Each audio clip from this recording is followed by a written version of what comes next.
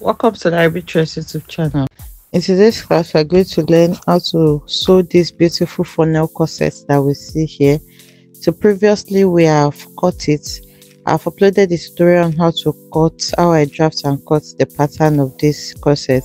So if you have not watched that, you need to go and watch it so that you know how the patterns are drafted before you watch the sewing tutorial.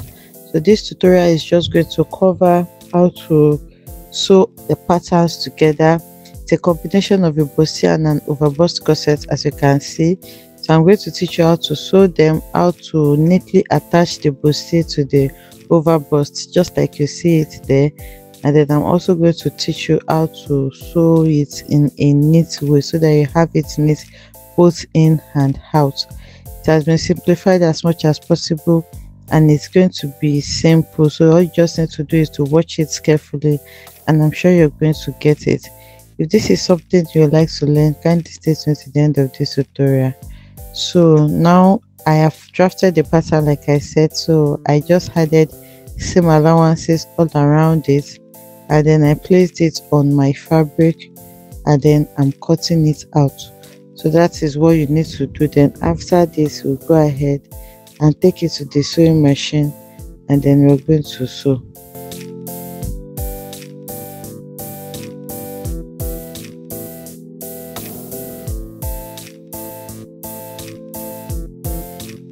Okay so i have gone ahead to cut them out on fabric and like i explained i added half an inch all around it. So these are the bustier that i have. I ironed interfacing to them this is the lining. So on the lining i ironed stay and then i ironed um, soft wadding to pad just the lining. You can see. These are the lining pieces. Let me arrange it so that you can see it well. Okay? These are the lining pieces. Ironed stay and gums and um, wadding soft the soft one to it. And then this is the main fabric I ironed stay to that as well. Because the fabric is kind of um, stretchy so to stabilize it I ironed just stay I did not add wadding to it. So I'll take it to the sewing machine now and then sew the bustier I'm going to join the bustier part okay? So I'll set this aside and then sew. Then for the main bodies I've gone ahead to cut all of them as well you can see. This is the main fabric this is the lining and then I ironed hairstay to all of them. And then I added my half an inch allowance. Okay I added the same half an inch allowance to the side as well because I do not want any allowance on my side okay? I don't want it packing on that side. So these are the front patterns. So we're going to go ahead and join them together as well. You join the center front to the middle front and then you join the middle front to the side front okay? And then we'll do this for this other side as well. So you join them all together and then you're going to do the same thing for the back as well. You join the center back. I have notched where i'm supposed to join because the back always look similar so that you don't get confused. I've placed notches there and then if you notice the center i place two notches so that i will know the one that is going for the high leg so that just make marks so that you don't get confused. So now i'm going to take it to the sewing machine and join all of them together. Another logic is you can keep your patterns on them and then pick one after the other so that when you are joining there is not going to be any mistakes. So i'll take it also to the sewing machine now and then i'm going to start joining them together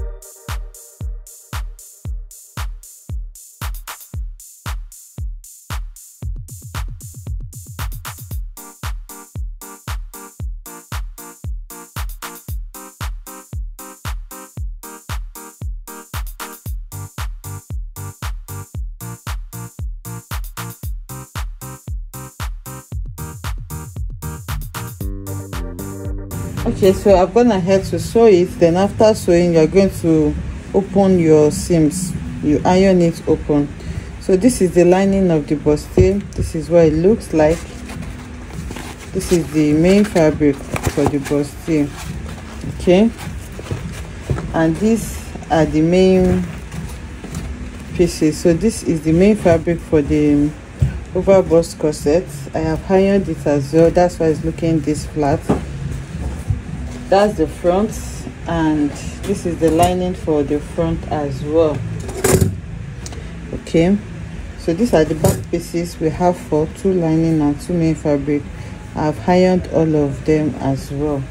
So now i want to adjust my pattern a little bit. You can actually leave it like this if that is what you want. That's for the inner bustier okay you can leave it the way it is but i want to cage it. I want to do complete caging on it so i don't want my caging to get to this side. I want it to be around where my bust is. So i'm going to be adjusting my pattern to do that. So if you want yours as well you can just adjust your pattern like that before you cut on fabric. Since i traced my pattern out you can see i still have my original pattern here. So i'm going to be adjusting it on the original pattern so that you understand what i'm doing.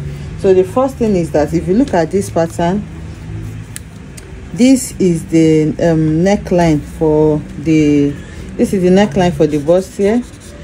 And the neckline for the corset goes from here like this okay? It's almost at the same point especially around here. You can see both the cost the inner bustier and the over bust corset.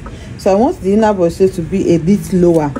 So here i'm going to come down by around one inch okay? On this part i'm going to come down by around one inch and then i'm going to reconnect like this. So you can use a curve for that as well. I'm going to reconnect to the side like this okay? So the side here you can come down by one and a half inches. But i just have a way i want it to be inside. So that is what i'm following. You can shape the neckline of your bustier anyhow you want.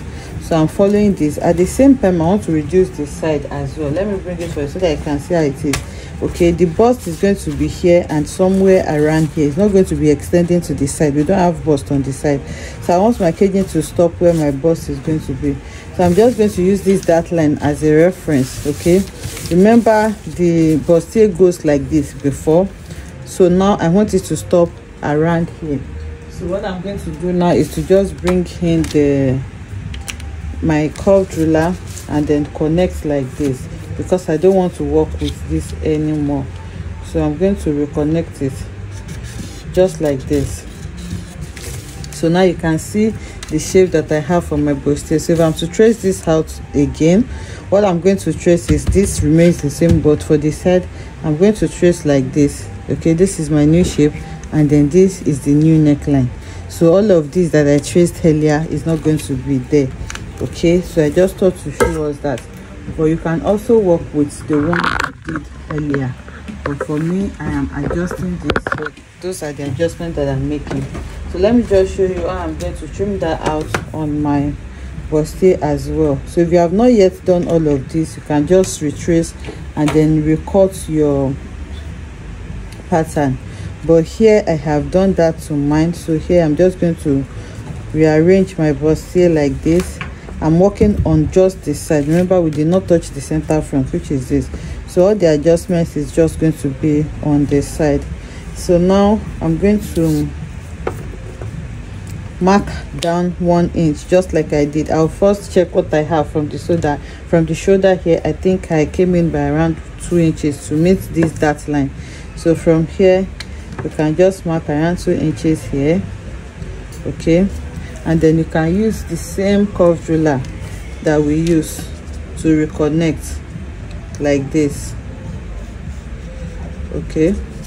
So i have done that. So now remember i reduced the height as well. So for the height you can just come down by one inch the same way we did on this line. So you come down by one inch here and then you reconnect like this. It is that simple so i'm going to be placing this on the fabric so that you can cut them out together. I hope you understand that. So this inner bustier is not going to get to the side of my bust again of my corset again. That's because that's how i want to do it. I want to sew this separately and then sew the bustier uh, the over bust corset separately. Then i'm going to match them together. Okay so now to pad it i'm going to be padding sorry i'm going to be doing the caging on the lining. Okay then i'm going to cover it up with this the main fabric. So i've adjusted it and this is what i have. So i'm just going to be marking along the lines that i'm going to be caging. So the first line i'm marking on is my center center front like this. So you just put it on fold and get the center point that was going to divide it for you. Then after that i'm going to divide from the center point to this dart line here. So i'm going to mark another i like to do um, full pad caging okay? If you don't want it too full you can just do on the dart lines alone but i want mine to be really structured. That's why i'm matching this i'm marking this much line. So i have divided that as well. So now i'm going to come to this side and then mark on this. You can just divide the side into two as well. Or you can just mark one here and then maybe another one here. Okay? So we're going to do the same thing on this other side. So it's totally up to you and how much you want to cage this. Then i'm marking that one here so after doing this we have done all the vertical ones so we'll do the horizontal caging now. You're going to mark get where your bust point is. That the deepest part which is here. So i'm going to be placing one here. I'm going to take it to the side as well. So you just try to imitate what you have done on one side. Make sure you are doing the same thing on the other side so you can see what we have there so here i'm going to divide this into two again. And mark another one here all the way to the side. Okay. So on the upper part you can divide this into two or divide into three. I think i'm just going to divide into two like this and mark so you can see how much boning i'm going to be adding to this. So you can see what i have there. And of course the outer part we are going to be sewing it like that. So this is how i am caging this. If you want to add another one here. You can just add and it's going to stop around here on the upper part there. So i'll go ahead and cage this and then i'm going to bring it back to show us. Okay so this is what we have when we are done. You can see i have caged this and you can see the depth of the cup so the next thing we're going to do now is to go ahead and flesh it. So to do that i'm going to fold it outwards like this. So this is going to be the inner part that is going to be shown. So we going to cage it so that it's not going to be too strong on the body. So i'm going to be using this fiber to do that and i will use this hemming gum to attach it okay? So all you just need to do is to cut a little bit of your hemming gum. You're going to spread this on this that you have. I'm bringing my bust arm because of course you cannot iron a bust on a flat surface. So after spreading like this you are going to lay this on it and apply your hot iron. This is steam iron. So that's what i'm going to use to sew it so you cut it around and then iron it. This video is already long so i'll go ahead now and then fix this to it and bring it back to show us what we have. Okay so you make sure that you keep ironing it. Make sure your iron is hot. You can apply steam if you need to so that it can stay well. Then you trim it around. So this is what i have now. Make sure you iron on the bust arm so that you don't have anything flat. You can see the depth that i have on this bust here now. So the next thing you're going to do now is to take it to your ironing table your sewing machine and then you're going to sew it close here okay? So i'm going to go ahead and run a stitch like this. You place it right side facing right side. You pin it down and then you sew from here. So i'm going to leave this underneath to turn it. So i'm going to sew from here and then flip it over. Okay so i've gone ahead to run the stitch you can see. So you're going to notch it a little bit before you turn because this fashion fabric we're working with is very thick. So i'm trying to notch it so that i can relax well. And i'm going to flip it. Remember we are here to turn the lower part so you are going to flip from there. If you see anywhere that is the seam allowance is too much you can trim it off so that it's not going to be too bulky. So now we are going to flip.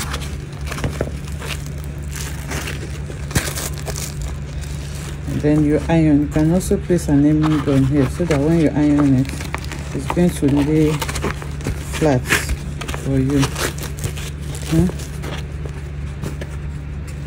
so you can see now that the neckline is neatly turned so i'm going to iron it again. So that can really i'm here to iron it and you can see that it is laying really flat and well for me. So i'm going to further iron it well. So this lower part here i'm going to turn it with my bias. So i'm going to cut the bias and then use it to turn that lower part so that it can be neat. So i'm going to set this aside now and then i'll start working on the body. For the body i'm going to go ahead and start attaching my bone. Okay so i'm going to be doing that on the main fabric. So this is the front. Of course i'm going to add boning to all the dart lines that i have. I'm not going to be stopping there so i'm going to add another one at the center and anywhere else you wish to add your bonings to. I have have i have several tutorials on how you can do that. So you just need to wrap your boning inside. I'm using this half an inch boning not the tiny one that we used to cage. I'm using this other one. So i'm going to be wrapping. You cut the length that you need and then you wrap it and sew on the channels. So i'm going to be sewing this to the main fabric both front and back. So for the back i'm just sewing on these channels and then i'm going to be sewing on the lacing bar area as well so by the time i attach all of this boning you are going to see it. But like i said i already have tutorials on how you can do that on the channel. So you can just cut it out. I'll just bring my fabric. I'm going to add interfacing to it. I just want to do like an illustration of what i'm going to do. I'm going to add interfacing to the fabric and then cut out around 1.5 inches. So when you cut that out you are going to iron your boning so that it can be straight and then you're going to wrap this around it. So there are several ways you can do it. I may still show this when i'm sewing but i don't want this video to be too long. So once you wrap it you're going to sew and then place it along all the channels that you have here okay? So that's what i'm going to do now. It's a lot. So i'll just get to it and sew all the bonings then bring it back to show us what we have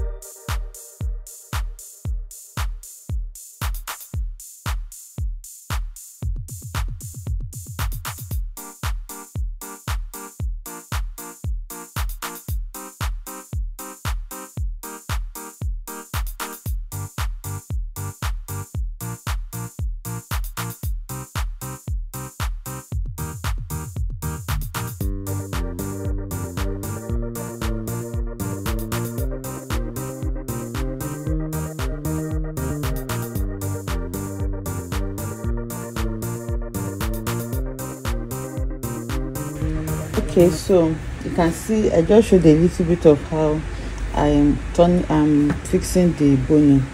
So this is the front all boning fixed. So go ahead and use your steam iron to iron it well especially if your boning is still bent. If you apply steam on it it's going to help it to become flat like this. So this is what it looks like on the inside. So this is the front and these are the two back pieces so for the back pieces i added boning on the dart lines like i said. The two dart lines then on my channel for for lacing on my lacing bar. I left half an inch to turn then i fixed one boning then you leave space for your eyelet and then fix another boning so that was what i did there. So i'm going to take it to the sewing machine now and then turn the neckline. So i'll place the lining against the fabric and then i'm going to go ahead and sew the neckline and the center back. Remember we left off an inch here to turn. So i go ahead and sew like this and on the neckline leaving this side. Okay we are going to leave this side. Take the one that corresponds like this. We're going to sew it on the center back and then sew the neckline as well. You leave this side and the hem so that I can have something neat. So that's for the back for the front. Okay remember this place we want it to be standing like this. So i'm going to be placing a boning here to help it have more structure. So in order to be able to do that i'm going to turn the armhole area only okay so on this one i'm just going to place it like this right side facing right side lining with this fabric and then the little armhole that i have here i'm going to run a stitch there and then i'm going to turn it so that i can sew the boning together for both lining and fabric. Then i'm going to use bias to turn that part.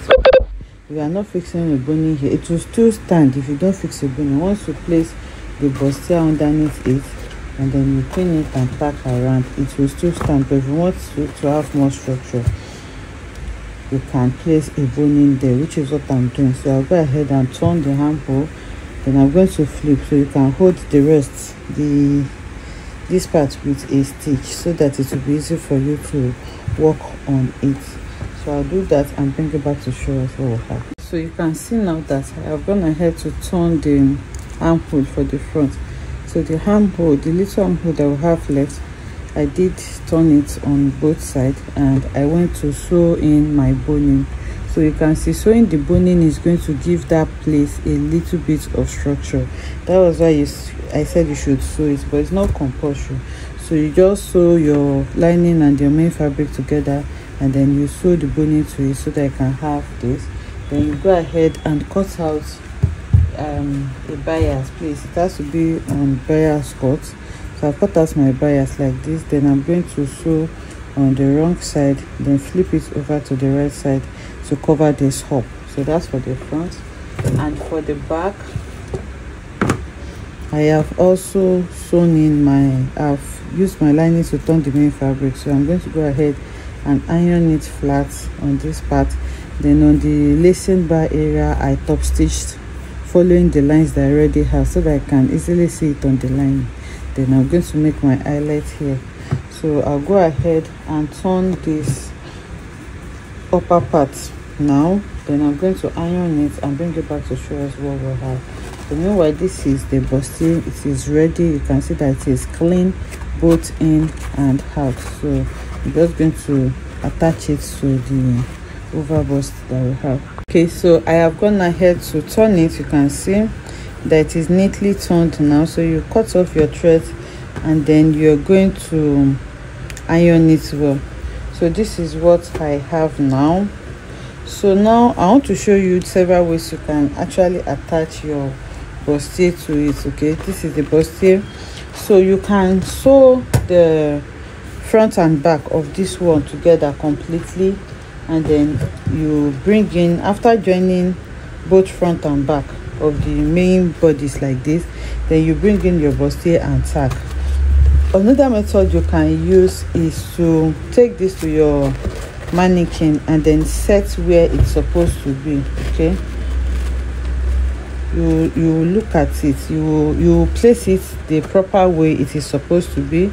So once you're able to do that you are going to pin it. You can do that on your mannequin on your straight pattern like this as well. So you pin it all around. So when you pin it you're going to turn it to the wrong side like this. So when you turn it to the wrong side you're going to detach your your lining from your fabric and then you start pinning the lining alone to the bustier okay so once you pin your lining to your bustier alone remember the main fabric is still there. The, you are just pinning the lining to the bustier you're now going to take it to your sewing machine.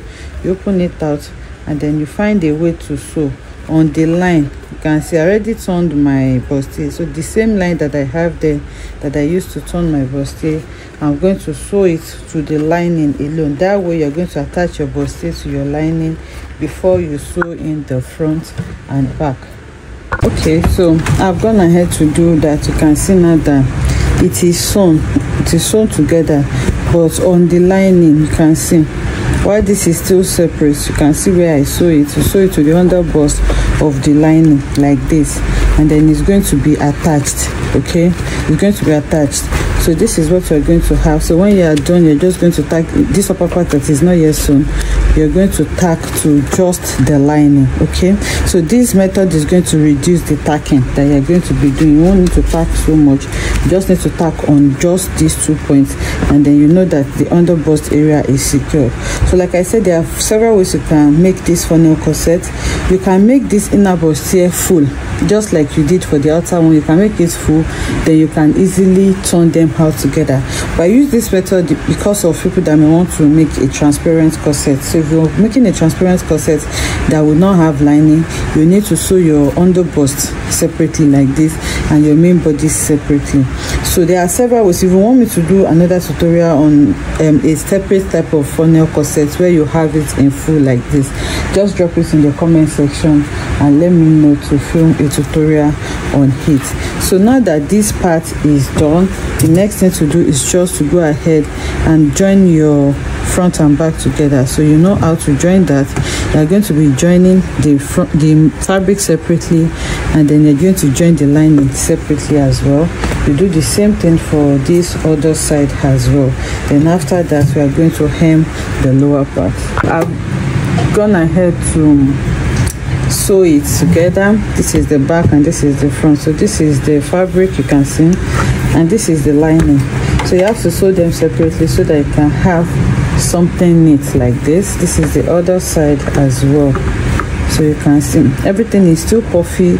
I've not ironed things so i'm going to just go ahead and iron everything that i've been sewing so that they can lay flat for me and not puffy just like we have all this place okay? So now this is the hem. For the hem you're going to match your darts together and then you're going to pin it okay? You match the darts together this is the side. You're going to pin everything together like this and you're going to cut your bias to turn it out so that it can be neat as well. So i'm going to iron and then turn the hem line. Then i'll bring you back to show us. So that's all we need to do now.